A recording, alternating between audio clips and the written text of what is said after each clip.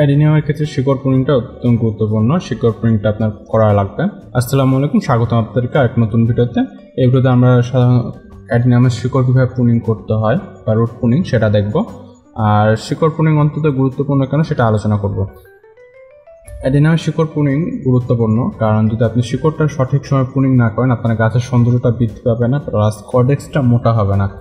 আপনি যদি কর্ডেক্সটা মোটা করতে চান, অবশ্যই আপনাকে শিকড়টা পুনিং করতে হবে। আর শিকড় পুনিং কীভাবে করবেন, সেই বিষয়টা সম্পর্কে বলি। সেটা হলো যে আপনার গাছটা প্রতি বছর লাগানোর সময় এক বা দুই ইঞ্চি মতো ওপরে তুলে দিতে পারেন। সেই তুলে দেওয়ার পরে মাসখানেক পরে যখন যে গাছটা সেট হয়ে যাবে, তারপরে দেখবেন যে কিছু শিকড় বের হয়ে যাবে। যেগুলো প্রথমে ছাড়ার দরকার নেই। আপনি যখন প্রুনিং করে গাছটা লাগাবেন বা নতুন করে রিপোর্ট করে গাছটা লাগাবেন, তখন আপনি এইসব প্রুনিংটা করতে পারেন। এইসব তখন প্রুনিং করাটা সবচেয়ে বেস্ট আপনার গাছে কোনো ক্ষতি হওয়ার সম্ভাবনা থাকে না। আর এইরকমভাবে যেগুলো অপ্রয়োজনীয় শিকড় বা মূল কর্ডেক্সের বাইরে যেগুলো শিকড় থাকে, সেগুলো অবশ্যই আপনাকে প্রুনিং করে দিতে হবে। দেখেন আমার এই গাছটা, এই গাছটার বয়স প্রায় দেড় থেকে দুই বছর মতো বয়স এবং গাছটার শিকড়গুলো আমি প্রুনিং করেছিলাম না, যার কারণে গাছটার কডেক্সটা তেমনভাবে মোটা হয়নি বা তেমন সৌন্দর্যটা প্রকাশ পাচ্ছিল না। আপনারা প্রথমে ভিডিও ভিতরে প্রথম অংশ দেখলে বুঝতে পারবেন যে গাছটার কডেক্সটা কেমন লাগছিল এবং শেষে যা প্রুনিং করা শেষে যখন হয়ে যাবে তখন দেখলে বুঝতে পারবেন যে কেমন অবস্থা হয়েছে। যত আমার অপ্রয়োজনীয় ডাল শিকড় ছিল নিচ থেকে ওপর পর্যন্ত। এবং আমি এই গাছটা লাগানোর সময় একটু উঁচু করে লাগিয়েছিলাম।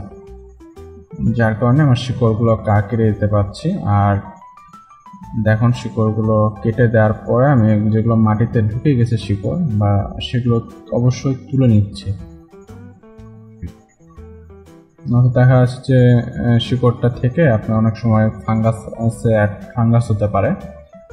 যার কারণে আমি এই শিকড়গুলো এখন তুলে নিব। আর যে ব্লেডটা ব্যবহার করছি, এটা অনেক ধারালো একটা ব্লেড ধারালো ব্লেড ছাড়া আপনি এই ধরনের কাজগুলো করতে পারবেন না। আর এই ব্লেডটা হলো এক ধরনের সার্জিক্যাল ব্লেড আমি এই ব্লেডটা নতুন নিয়েছি, আপনারা যারা নিতে চান, আমার সাথে, আমার কমেন্ট বক্সে জানাবেন। আমি তাহলে আপনাদেরকে সেই লিঙ্কটা দিয়ে দেবো। সার্জিক্যাল ব্লেড আপনার এই ধরনের শিকড় প্রুনিং বা গাছের ছোটোখাটো ডালগুলো ছাটার জন্য খুব কাজের একটা জিনিস। শুধু ব্লেডটা নিলে আপনি কাজটা করতে পারবেন। খুব সহজে এই ব্লেডটা প্রচুর ধারালো, সেক্ষেত্রে একটু সাবধানে কাজ করতে হয়। আপনি যদি সাবধানে না কাজ করেন, তো আপনার হাতটা কেটে যেতে পারে।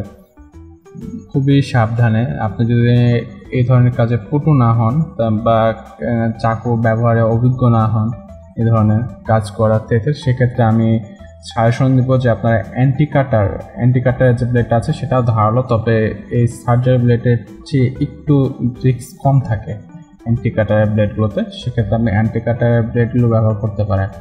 যেহেতু চাকু আছে, আর এই সার্জারি ব্লেডটার ক্ষেত্রে একটা যেটা হ্যান্ডেল থাকে, সেটার দাম প্রায় অনেক দাম। যার কারণে আমি নিই নি এটার হ্যান্ডেলের দামটা প্রায় পনেরোশো থেকে ষোলোশো টাকার মতো হ্যান্ডেলের দামটা শুধু হ্যান্ডেল যার কারণে আমি হ্যান্ডেলটা নিইনি। শুধু ব্লেডটা এটা দুইশো থেকে আড়াইশো টাকার মতো ব্লেডটা ব্লেড কিনেছি। প্রায় দশ পিস মতো ব্লেড আছে দুশো থেকে আড়াইশো টাকা। আর এটা একটা সুবিধা আছে, এই ব্লেডটাতে আপনার জং ধরে না। আমি কিছুদিন ধরে ব্যবহার করছি এটা রেখে দিচ্ছি। তা আমি খেয়াল করে দেখলাম যে এগুলো জং ধরে না, এর জন্য একটা সুবিধা। আর এর লাগ, অ্যাডিনাম পুনিং করার পরে পুনিংয়ের জায়গাটা অবশ্যই আপনাকে ছত্রাকনাশক দিয়ে একটা পেস্টের মতো করে দিতে হবে। আমি দেখুন ছত্রাকনাশকটা লাগিয়ে দিচ্ছি। এটা না করলে আপনার ছত্রাকের আক্রমণ হতে পারে, বিশেষ করে বর্ষার সময়। আর গরমের সময় যে সময় বসানো থাকে না সেই সময় কোনো সমস্যা হবে না। আল্লাহ হাফেজ, আবার দেখা হবে নতুন কোনো ভিডিও নিয়ে।